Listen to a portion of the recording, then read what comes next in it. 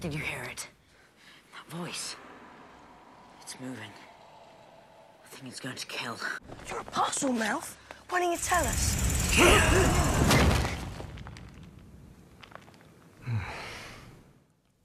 Spooky. Look, do you know who's opened the Chamber of Secrets?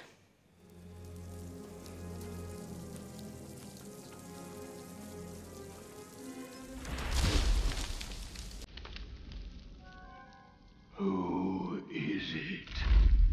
Don't panic. Is that you?